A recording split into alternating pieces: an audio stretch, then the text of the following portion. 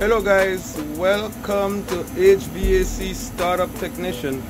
And today we have a Goodman furnace here.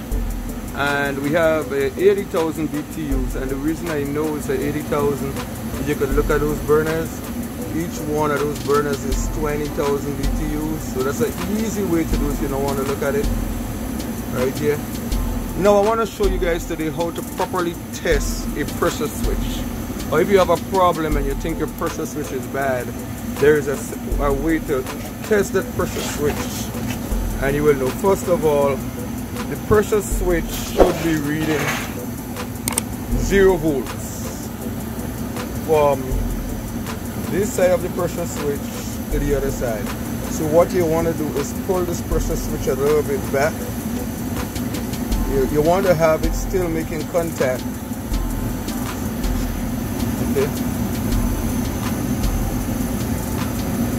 let's let's go ahead here pull this one a little back also. Yeah. You just have enough. So you could put on your meter leads. And I have this UEI meter. It's nothing fancy you just turn it on here. I'll come back. And this is the proper way to test your pressure switch so you take one lead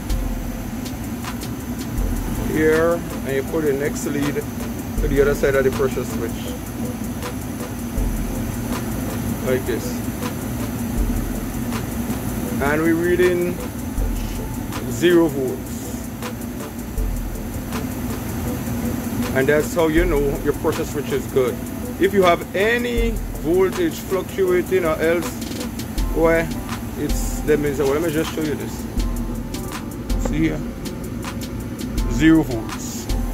And that's the best way to test a pressure switch. If you get any fluctuation in that switch then you have a bad pressure switch. All right guys?